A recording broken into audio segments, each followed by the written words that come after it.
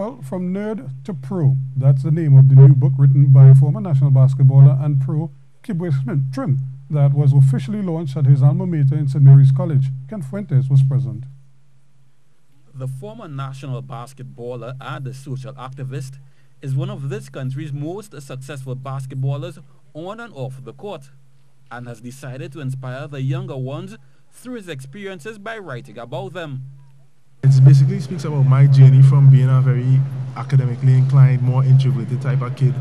Um, like growing up, I was you know, tall, skinny, big knees, big feet. Used to get called a lot of names, and um, you know, at some points, I had the tendency to believe sometimes what people are saying about me.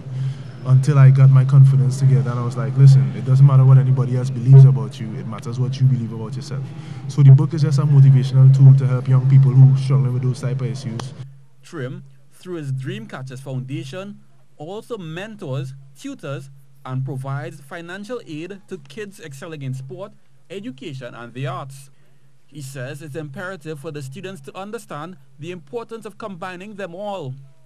Eh, they go hand in hand because at any level, if you look at it, um, in order to a scholarship to play basketball, you had to pass the SATs. If you can't pass the SATs, you can't go to a Division One university.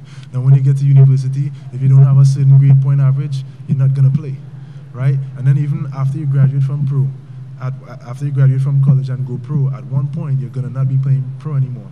You're gonna have to deal with business. You're gonna have to deal with a career. If your academics are not in order, you're gonna struggle. So it's it's a big part of it. You got it. It goes hand in hand. Sharing a similar view was president of the Trinidad and Tobago Olympic Committee, Brian Lewis, who was happy that the St. Mary students were able to see one of their own make it through the education and sport.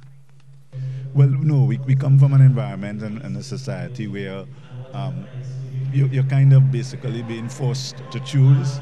So it's either you're academic and then everything else gets put aside, um, including sport, to focus on academics. But as I said, in Kibwe Trim, you have an example of someone who was able to balance both and he fulfilled his potential and it's great to see him giving back both as an entrepreneur and with his foundation Dream Chasers International. Trim joins a growing list of outstanding trainees who have been successful on and off the court with names like Ato Boldon, Wendell Mottley, Derek Murray and Cleopatra Borel among them. Kent Fuentes, C Sports.